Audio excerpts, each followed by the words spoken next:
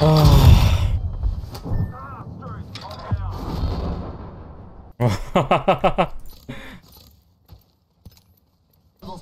Yeah, here's a shield battery for you, bro. Holy shit. Wonder what it's like being fat with a neck beard living in my mom's basement. Wow, dude. That's harsh. Attention. This is I some got a of vault the key. worst movement I've ever yeah, seen in my I life. got a, I got a vault key here, man. Yeah, I got your sister on speed dial. Very sweet, dude. You going over her house later?